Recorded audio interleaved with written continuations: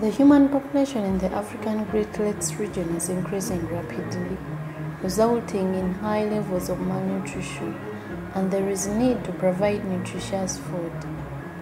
Fish is the most nutritious and healthy food, but the quantity and variety of wild stocks has decreased to a few species, dominated by small fishes like mukene.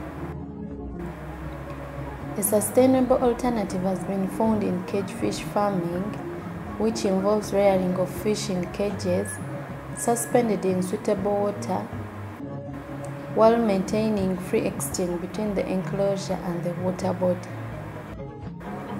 It can yield about 40 kilograms per unit volume of water, has high fish growth and survival rates, efficient feed utilization, and on farm operations with a high return on investment.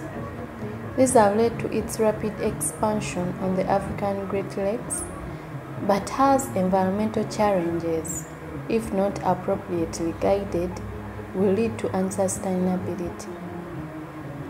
These videos provide key steps in best management practices for environmentally, socially, and economically sustainable cage fish farming and are divided into seven parts spatial planning and site selection, farm planning,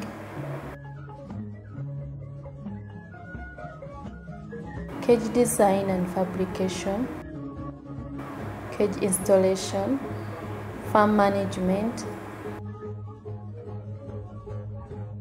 harvesting and marketing, and finally environmental monitoring.